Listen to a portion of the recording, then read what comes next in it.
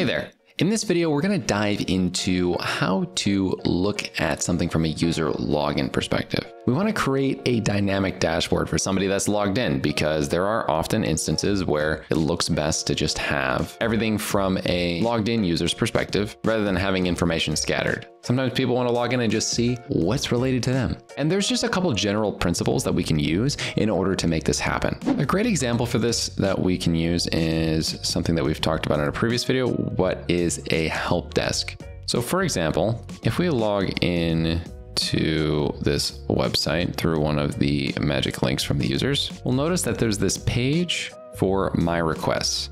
Now this one is specifically showing the requests that this user has. And there are other views in where you can look at requests for everyone, assigned to me and unassigned. So the my requests specifically is a great showcase of how our system works from making sure that if we want people to only be able to see their information inside of Softr, we just need to set up a pretty basic filtering system. So if I were to go to this assigned to me page, I'm going to remove the filter and start from scratch. All you need to do is go to this list and then go to the conditional filter section. We're going to add a condition and set it so that the assignee email is logged in users email.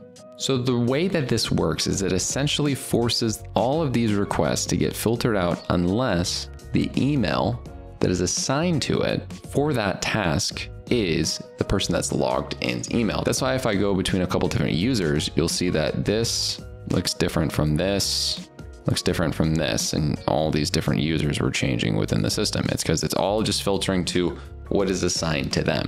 Now we can do this in other ways. We can make it so that it's not the assignee's email, but maybe it's the requester email. If I was the one that requested it, I could also set up another system here where it would say assigned to me, requested by me. And then I could change the page to be called my dashboard, change the page URL. And then from here, all we need to do would be change the conditional filter to the requester email is the logged in user email. So then if I go here to publish, now this page would show assigned to me and requested by me. And you can see that it fills up a fair amount of these, but this person has in fact, if I click on this, it was requested by Lisa, and this is who is logged in. She has been assigned those, and at the same time, she has requested these on the bottom. You can use this in a myriad of different examples and ways, but this is just one simple step towards making a more customizable and amazing experience for your users inside of Softr. If you're looking for more cool tool tips regarding Softr, make sure to check out all of our content on our YouTube channel, subscribe, like, and let me know what your thoughts are on this feature inside of Softr.